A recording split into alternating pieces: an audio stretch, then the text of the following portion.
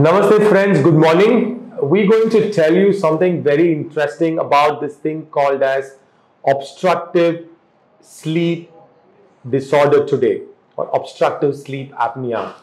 Now, a lot of queries are coming onto our YouTube channel and also on our Instagram posts about what exactly is OSA.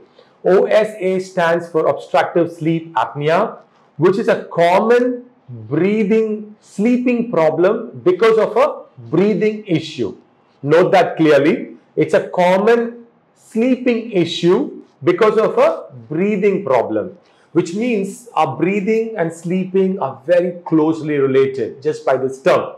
Now, I'm going to tell you a few quick points about OSA, and we're going to go through some of the patients that we've treated in the last few weeks. We've been having a lot of patients with OSA, especially in the last few weeks, and hence we thought we're going to brand this as the OSA month.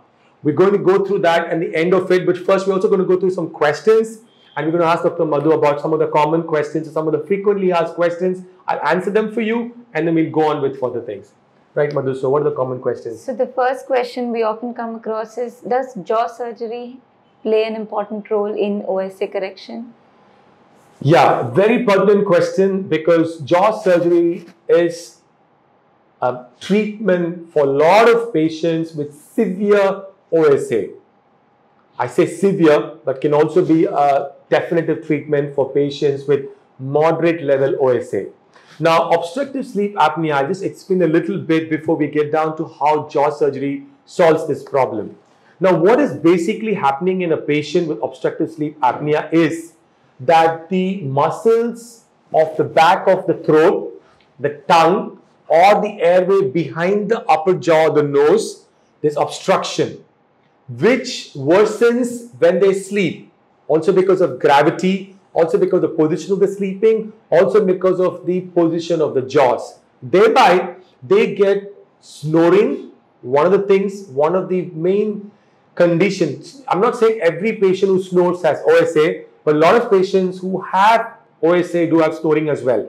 One of the other things they have is daytime tiredness or lethargy or sleepiness. This is because they are not having a good sleep in the night. Their sleep is disturbed often by bouts of waking up from sleep because when the brain senses less oxygen, then it makes the person to wake up. And that's why we call it as an obstructive sleep apnea. Now, there are many ways to skin this cat problem because we can, you know, start with a CPAP, there are many other treatments like the UP3. We can work on the uvula, septum. We can work on the tongue position. Orthodontists can give you splints. We can wear guides, CPAP machine, and so on and so forth. So, based on the severity of OSA, there have been a whole range of treatments that have been prescribed. Based on mod moderate or severe condition, then jaw surgery comes into role. Now, the Stanford sleep studies, they are the, one of the leaders in this aspect of OSA treatment and management. And in the past couple of decades, it has been clearly brought to life with various studies, with elaborate literature now that jaw surgery literally is the cure for OSA. I'm going to go through that a little while uh, later. We're going to show you measurements, we're going to show you scans, we're going to show you on the model, we're going to show you our patients. So you're going to understand this very clearly. So to answer a question of is jaw surgery a solution for patients with OSA? Yes, in a lot of patients, but no, not in all the patients. All right. Okay, the second question is when we talk about jaw surgery, are we talking only about the lower jaw or we can do a bi-jaw surgery? Yeah, so it varies again. Whenever a patient has a severe obstructive apnea, and depending on where that apnea lies or where the obstruction is, we might have to do a bi-jaw or we might have to do a single jaw. Even a mortise and tenon genioplasty has been proven to improve the airway and thus reduce the obstruction. But we can also do other procedures like clockwise or an anti-clockwise rotation of the upper jaw. Anti-clockwise increases the airway much more significantly than the clockwise. Obviously, bringing the upper jaw forwards is also helpful. We're going to show you this on this model a little while later once we finish all the questions. All right. People have concerns about their bite. Will their bite change after uh, Very pertinent again. Yes, a lot of the times patients that undergo a corrective jaw surgery for OSA, the bites do change. And I keep telling this to some of our patients who come here with severe problems. I tell them, look, your first issue is function. In the pyramid of facial aesthetics, function is number one, number two is symmetry, and then the proportions. So obviously, if a patient has a functional issue, that's more in the rung or the importance rather than just aesthetics. But do remember that nature has so made that if a person or an individual has a proportional face, if the person has a beautiful face, very often that patient or that person will also have good function. So that is why you see that there's a high relationship between obstructive sleep apnea and a face that's not very proportional. And therefore, to answer your question, if, if the bite will be hampered, yes, for a short while, but in the long run, it's going to be better. Not only are we going to improve the breathing, not only are we going to improve the function of breathing and sleeping, but we also, also most of the patients augmenting facial proportions, making them look younger and also making them look more beautiful, more aesthetically proportional. All right. And this is the last one. Uh, does snoring improve and when exactly do you um, you can tell that the snoring is improved after surgery? Does it vary? Yeah, so snoring, as I mentioned, and obstructive sleep apnea are not directly linked, which means all patients who snore do not have OSA, but a high percentage of patients who have OSA do snore, especially when the snoring is loud. I think it's a thing that you can visit your doctor. We can get various studies. One of the simple studies is what we did for this patient yesterday. It's called as a polysomnography. Now, a polysomnography report, this report dates today, 15 11 2022, and it's by this ResMed company. And if you look here, the indices of AHI is 43.4, and the result is showing that there's a suspected pathological breathing disorder. Now, a polysomnography is a simple sleep study where the leads are placed on the patient's body before they go to sleep in the night and the next day the computer gives you the result. This is one of the basic elementary tests that we need before we embark on the process of curing these patients with a OSA. All right, now having said that, having exhausted all of questions, I'm first of all going to show you a simple thing which you're going to appreciate on this model if you look carefully. I'm not going to be able to move the lower jaw because it's attached here. In reality, this moves more. But you can see here, the upper jaw is being osteotomized and kept. Now, the airway that we're talking about is the space here, right? This is the space that we have for breathing, which is behind the lower jaw, behind the tongue, so to say, more precisely, and behind the upper jaw. Now, look at this. This is that. So, when we move the upper jaw, Obviously, there is more gap that's created behind the upper jaw and the airway. But when I do a anti-clockwise, this is a clockwise movement, clockwise, and if I take it up, this is an anti-clockwise. So when I do a clockwise movement, this is this movement, you see there's still an improvement in the airway, but not so much.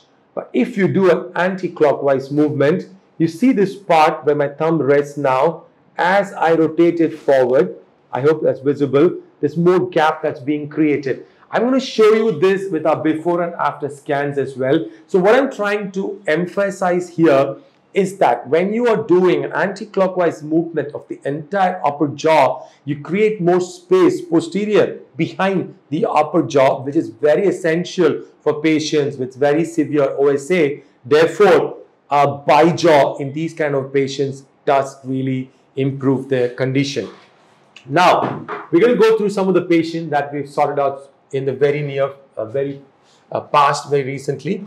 So the first one is this girl. You can see the improvement. This looks like it's been predominantly a lower jaw work, but it was also an upper jaw work. I did mention if you rotate it clockwise and anti-clockwise, there's not going to be a huge difference in the facial aesthetics, but there's going to be a huge improvement in the functionality of the breathing and therefore improves sleeping.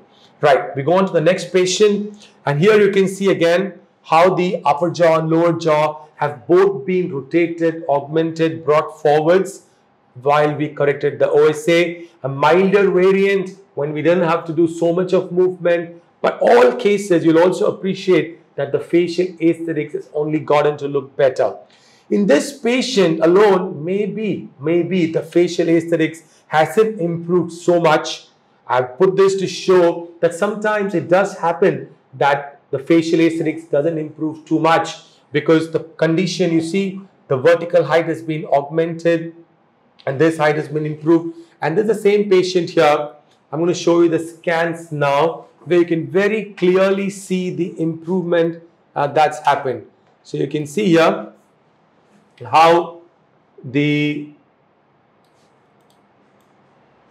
okay i'm going to show you a very critical thing here so look at my cursor there and the distance this is being measured about a centimeter and this was before we did uh, obstructive sleep apnea correction surgery now we move on to the post-op look at that distance this is an extra centimeter and 4 millimeters. So extra 14 millimeters we've achieved in this way on the gap between. Now, this is a huge improvement and we've done this as you can see with a bi-jaw and a Genio to correct the sleep issues.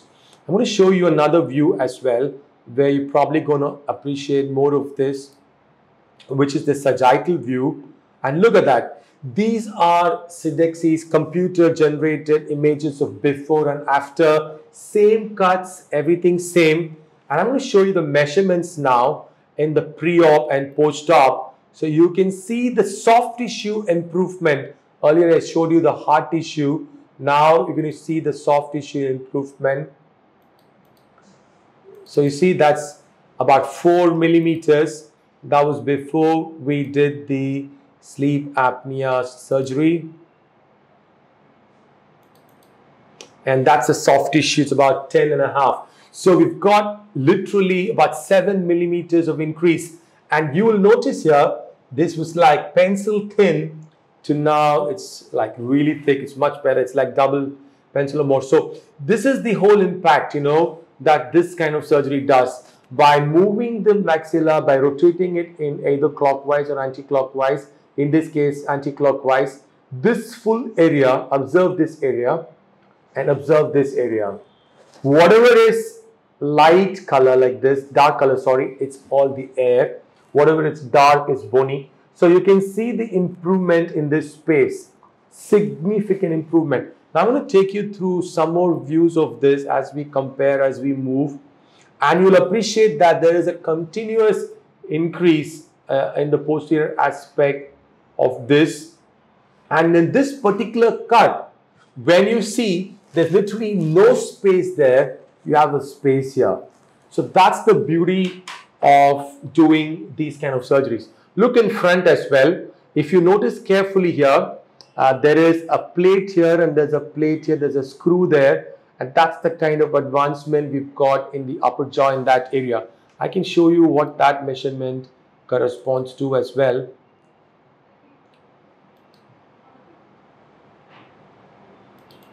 So the anterior advancement is about 10 millimeters. This is apart from the anti-clockwise rotation that we've done and we've literally stretched and pulled and rotated the upper third of the face, lower third of the face in an anti-clockwise direction, got the bite to fit in, thereby improving the space in the most important aspects of the maxillofacial skeleton. If you remember, I did say there are many other options that we can do to have some amount of improvement for patients with OSA. Our chest physician is also involved. We have other specialists, including anesthesiologists, who's involved. So it's a teamwork nonetheless. But when it's a severe case of an OSA, I have to again stress the point that these kind of maxillomandibular surgeries is the cure. We've cured several hundred patients over the last decade and more who have had severe OSA, who've had various issues with their lifestyle, with their productivity, with their issues with hypertension and so on and so forth. And all of this is curable, it's sortable, it's fixable for life. There's going to be no scars outside. Obviously, there are going to be a lot of plates and screws inside, but this is a change that's going to have a total improvement for life and thereby this is not only not only going to augment the facial aesthetics but really most importantly give them nice sleep and much better breathing. So i hope this video was clear. You could understand more about this concept of osa and how this can be treated. There's a large vast topic so I'm sure you'll have more questions. And if you do, we have this website or we have the YouTube channel or we have the Instagram. You can message us and we'll be more than happy to message you. You can also WhatsApp us for appointments or if you have any queries and we're more than happy to guide you through this. Thank you.